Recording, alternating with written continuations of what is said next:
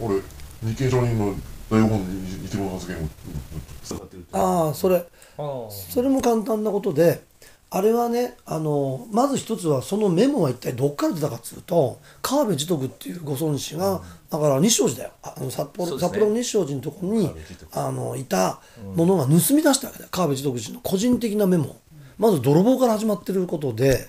でしかもそのメモっていうのは要は主観的な断片を書くじゃないですか何もいちいち文章にしないよね、誰それさんがこうでこうでこうでありますねなんて書かないじゃん、もうパンパンと、なもんだから後でいくらでもこれは脚色できるわけだ。でその川辺慈徳氏のメモの原本原文見ると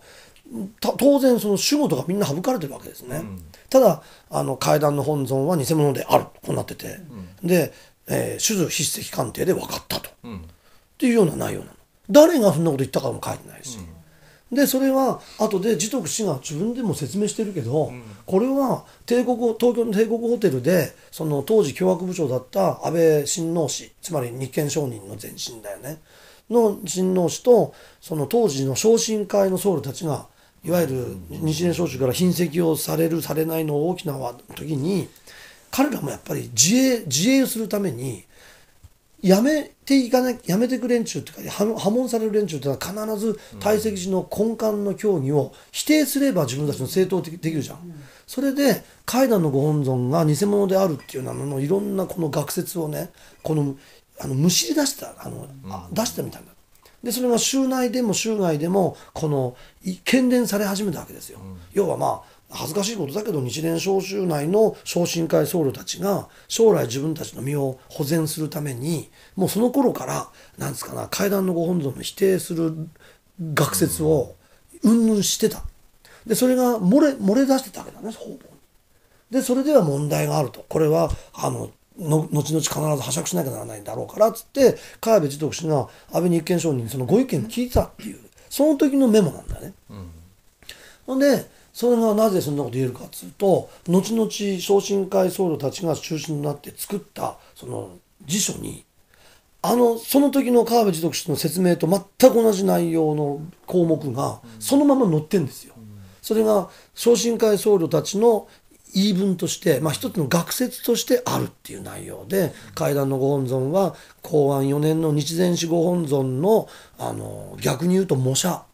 であるでという説もあるのであの注意を要するっていうような感じでね。それがまさにそのあのメモの項目でポンポンポンポンって書いてあった内容とぴったり一致する。ってことは川辺持続のの証言もそこで相当裏付けられるってことなんですね。日憲承認御自らが自分の意見として言ってるなんてどこにもそもそも書いてないし。しかもだよ、そうやって自分が偽物だっってるご本尊に、なんで芸家としてね、もう二十何年来ずーっとそこでご会費をされてるわけだ。おかしいでしょって。自分が偽物だと思うものになんでね、自分が手を合わせるって。でそれがちょっとおかしいと思うまさに無理を通せば道理が引っ込むっつってさ何でもいいから日憲承認を引き落としてやろうっていう。昇進会僧侶大黒軌道編纂日光門流上大辞典本門階段大本尊の項公安2年10月12日に所見されたと伝えられる富士大石寺像宗祖御筆本尊で曼荼羅現在は板曼荼羅として大石寺に言語されているが非公開であり、古来より宗祖の御筆に対して疑問が提出されている。富谷日清本宗志向は、オモス日常記によって当本尊の彫刻を大石寺日雨によるものと推定し、日蓮宗辞典はその筆跡や脇書き等から室町期の成立と推測している。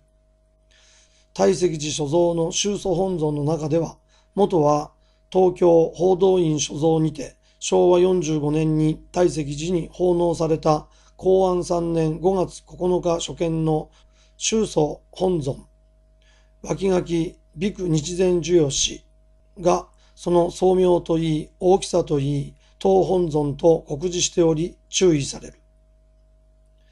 この日光門流上大辞典なる書の発刊は、2000年1月1日と記され、近年の発刊となっているが、問題はそこに述べられた。日前需要のご本尊と階段第五本尊の関係についての説が一体いつから存在したかという点である。